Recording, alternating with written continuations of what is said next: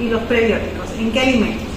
Probióticos, acuérdense que es de origen animal, o sea, lo podemos encontrar en los lácteos, el yogur, ¿no? que usted puede preparar en casa. Los prebióticos son de origen vegetal. ¿Dónde podemos encontrarlos?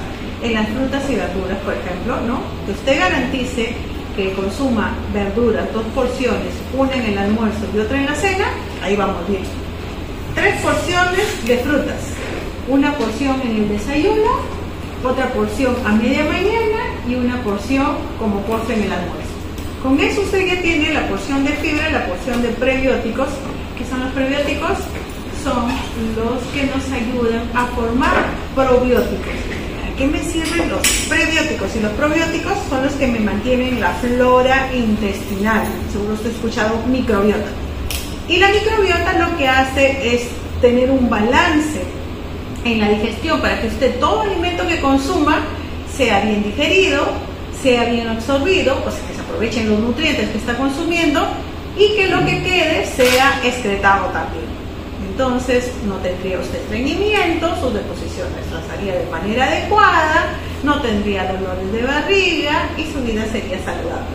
Para eso sirven los prebióticos y los probióticos. ¿Dónde más encontramos prebióticos? Porque no puedo estar olvidando la fibra la podemos encontrar en las menestras, por eso es que debe consumir entre dos a tres veces por semana, ¿no? Pero también lo podemos encontrar en nuestro alimento de oro. Cualquiera de los tubérculos, consúmalo con su casa.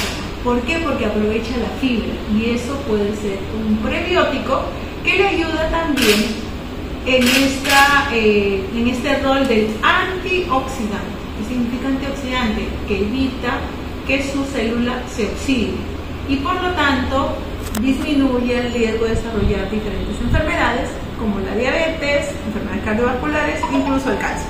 Fíjense que es fácil consumir, al consumir alimentación saludable te garantiza la cantidad de prebióticos y probióticos que necesitas para mantener una buena calidad de vida.